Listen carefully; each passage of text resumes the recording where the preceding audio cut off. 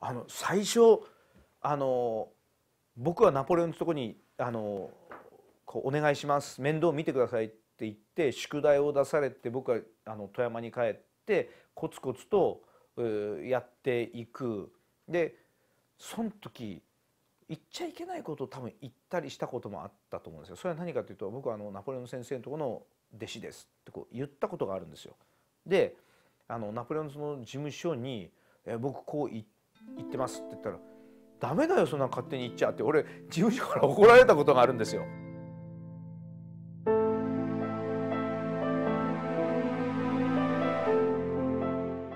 でああそうかまだ認められてないんだということをそこで僕は確認するわけですよ。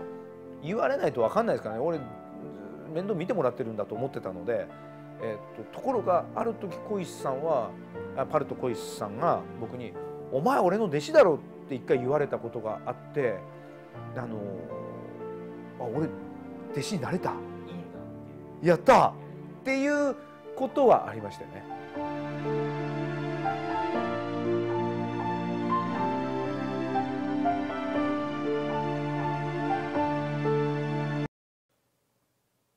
ボナ植木さんにボナ植木さんのことを言うとすごくマジックを勉強して練習して丁寧にやっておられると僕は思ってるわけですよ。だからあのボナ植木さんにやられたマジックって幸せだなと思ってるわけですよ。でそういうことでじゃあ小石さんはって言った時に僕はこう演出を考えるとかどうしたらこのマジックがより面白くなるとか色がつくんだろうといった時のアイデアというのは小石さん天才だと思ってるわけですよ。だからおのおのちょっと違うポジションにいるのでで例えば小石さんがマジックできないわけじゃなくてできるんだけれどもそういうことではなくてあの演出としてはもうすごいもっとあの考え方をどうやったら僕あの学べるだろうとは思ってますけどね。マジックをどうしたらこう綺麗にあの滑らかな動きになるんだろう。というとやっぱりあの植木さんのことを見てしまうというか、はい、だからそのあの僕の先生であるナポレオンズの2人は全く違う2人なので小石さんですあのあの普段もすごくおしゃれですよねいろんなあのお洋服にしてもセンスがあるしで小石さんと僕と体の大きさそんなには変わらないんですよ。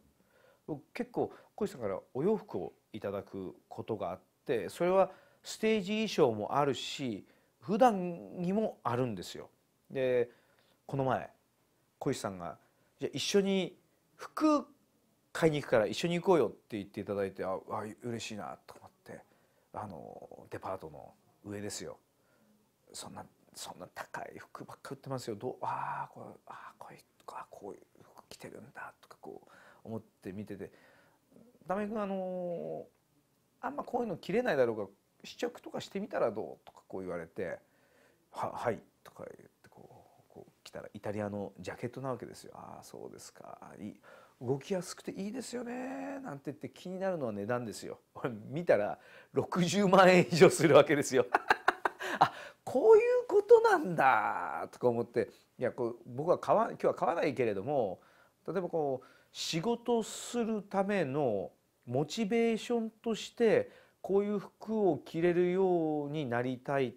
もっと仕事頑張ろうとか、えー、そうやって仕事ってできるんじゃないかなとかいうお話もいただきながらであの、まあ、いくつか小石さん買われまして「いや玉井君あの玉井君にもぜひ一つ買ってもらいたいんだ」いやこれは僕が買ってあげるんじゃなくて自分のお金で買って自分で身につけることが大切だじゃあちょっと買い物に行こうって言われてあの高い服が一番上の階だったのが一番下の階まで来たんですよ。でここはなんあ面白いからついてきなさいよとかなんか言われて行ったら下着のコーナーなんですよ。ああ下着なら買えるかなとかこう思うじゃないですか。でこれどうだとか見せられたあのパンツなんですけども霧の箱に入ってんですよ。これあの例えばこう大きな仕事があってどうしようとか悩んでる時とかあの勝負しなきゃいけない時これを履いていくんだよ。値段見たらあの1万3,000ぐらいするわけですよ。勝負パンツ。勝負パンツが1万3,000うわパンツ1枚に1万3,000円でただ言っていただいたのは僕も何枚か持っててあの使ってるということを小石さんが言っていただいてあそうかじゃああそうなんですね。はい。あの買いますってこう言ってあの買ったわけですよ。でも家には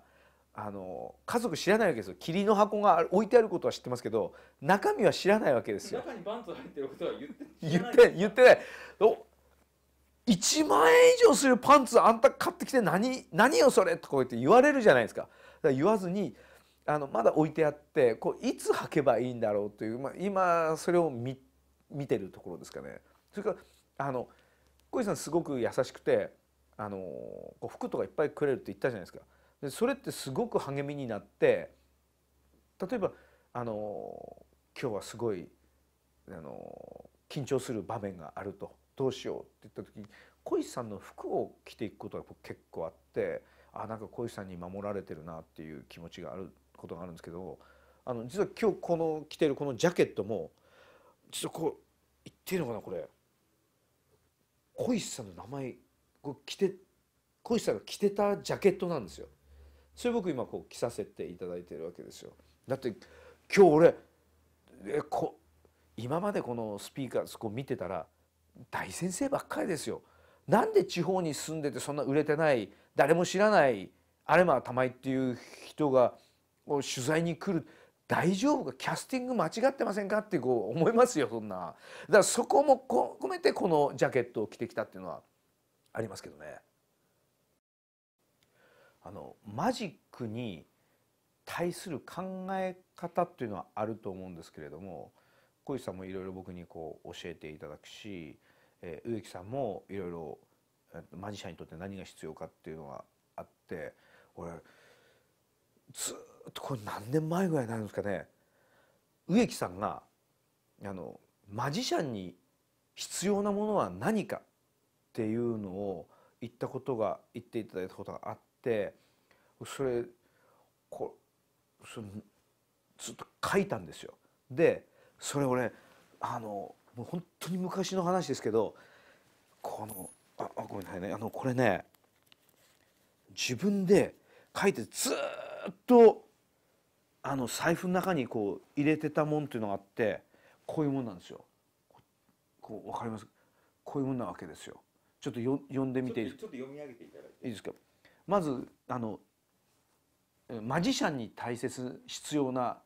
5つのこと。まず健康。これが一番に来てるんですよ。次は感性が必要だと、えー清潔でなくてはいけないと。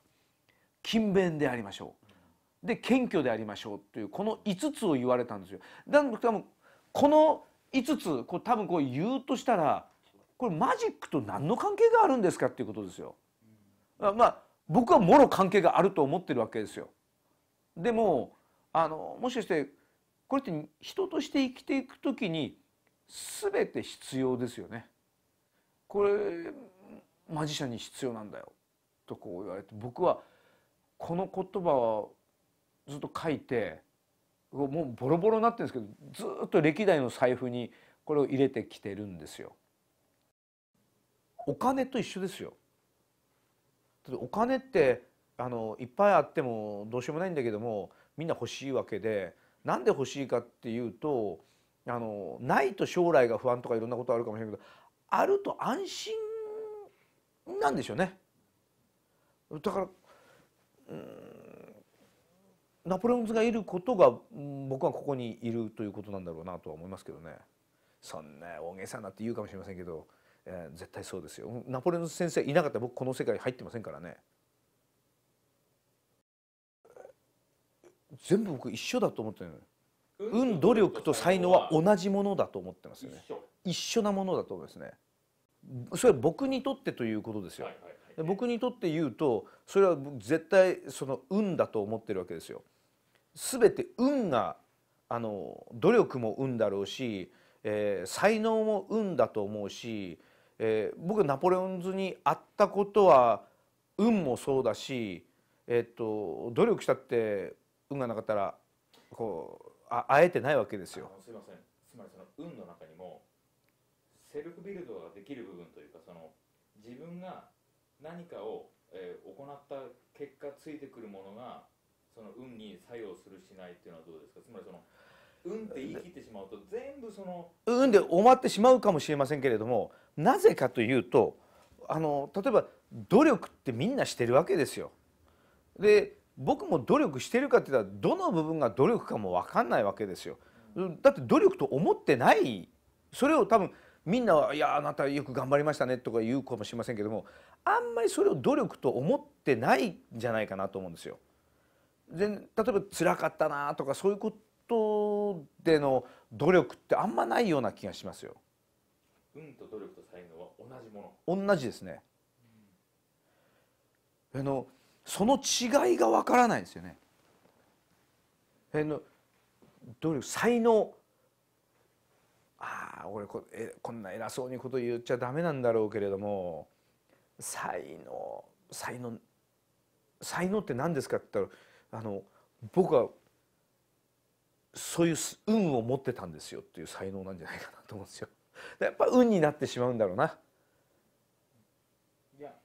いや玉井さんらしいお答えだと思います。運と努力と才能が同じっていうのは今までのスピーカー史上は多分初めていう答えなのみんな一緒だと思うんです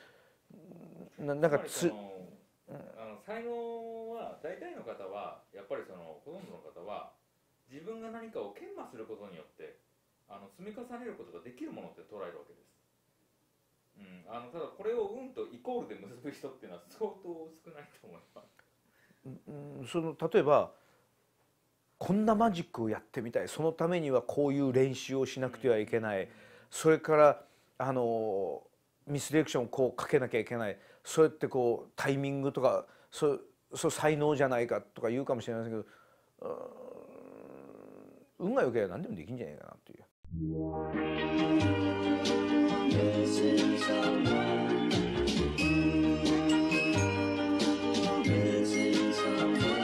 Missing someone.